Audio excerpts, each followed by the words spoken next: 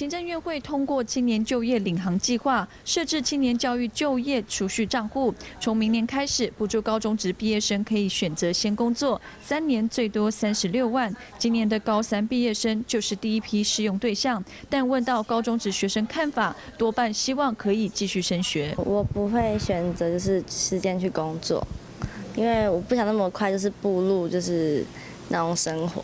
就是想多体验一些学生的这生活，然后再步入。有些人可能会觉得这是很好的管道，因为有些人可能就不想升学，想直接工作。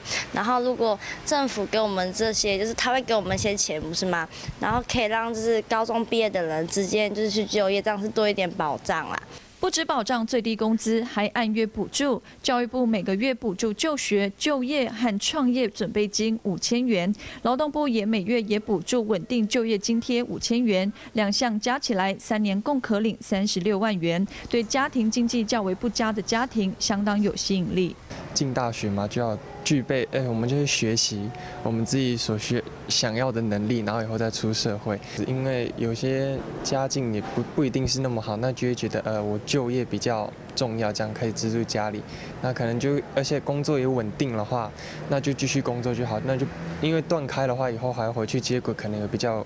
有困难方面这样，政府教育新方针不用急着念大学，先工作再读书。面对这项计划，有家长认为也是一项不错选择，但校方希望可以再给学生多点生涯指引方向。如果说他已经就业之后就不想再读书，我觉得也这也没有什么不好。如果一个人生，如果只要不走邪路，哈，如果他是认为说他继续就业是一个很好的方向，我也觉得值得鼓励了哈。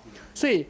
我觉得不要说一直读书读到说哎读到博士什么样的成绩之后再去就业，我想说这个社会历练跟经验，看可能我觉得又要重新在那个阶段、那个年龄之后再去摸索，我觉得似乎慢了一步了哈。也可能会有的家长会觉得说，嗯，哎，那你就去啊，你就申请，你就先不要念书。可是有可能学生很想念书，然后家长会 push 他说，你就去工作，你看又可以多领一万。我觉得很有可能这个状况，可是学生可能是想去念书的，这样，对，然后呃，所以我觉得在原住民这块一定要有更强力的辅导，或是。嗯，就是有个机制是可以帮助他真的做他想做的事情。高中职毕业后不升大学先工作，政府还帮你存钱，三年后可提领三十六万元，用于创业、就业或回到学校。但看似利多的教育方针，学生家长是否买单，恐怕还得正式上路后才会知道是否真能落实学以致用。记者穆拉斯大陆新北市树林采访报道。